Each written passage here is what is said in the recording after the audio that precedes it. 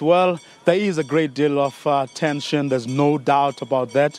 Um, remember, these are warring factions that had to be brought together and uh, to craft a program, a roadmap, as it is uh, commonly called, uh, towards that uh, February election. Um, some of them were, of course, uh, reluctant participants because they were sticking um, um to their guns, refusing to talk initially until, of course, um, SADC through Deputy President Cyril Ramaphosa had to nudge them and get them to where they are right now. As things stand, though, uh, credit must be given to all the parties because they have shown a commitment towards this process. But as you have just said, um, the real issues are going to start discussions around them. That is, uh, starts only next week. But as things stand, everyone has made the commitment, and it was quite interesting also to see see um, the king in action uh, in his own way, of course, because as soon as he arrived, you could see that all parties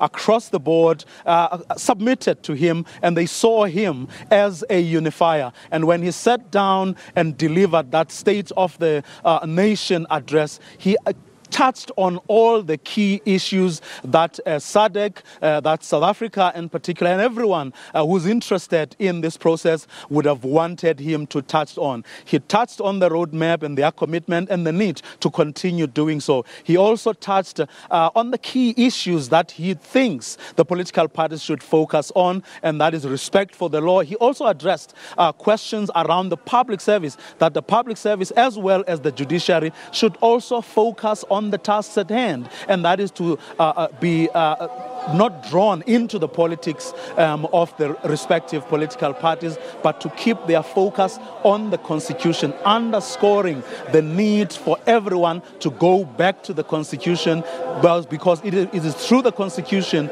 that all these warring factions can actually make a meaningful contribution to the future of Lesotho. Elvis?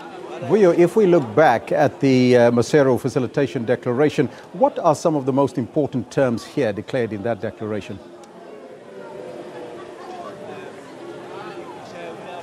Well, there are constitutional issues that several parties would have wanted um, this process to touch on. But if you listened uh, to the king, but also if you listen to what uh, the facilitator um, has sort of uh, had to uh, say, it is that big constitutional issues should be put aside. The focus should be on the roadmap. Between now and February, you need to have a budget, right? A budget that to run the country, but also to prepare for that election. So everyone is committing to that, and that is one of the key issues that this parliament would have to deal with over the next uh, uh, few weeks and months. But also, you need to uh, look at whatever obstacles that there may be in the path towards um, um, ensuring that you have that election in February. You have to make sure all the parties have to commit to that process. Now, it's not going to be easy because from what we're picking up, there are issues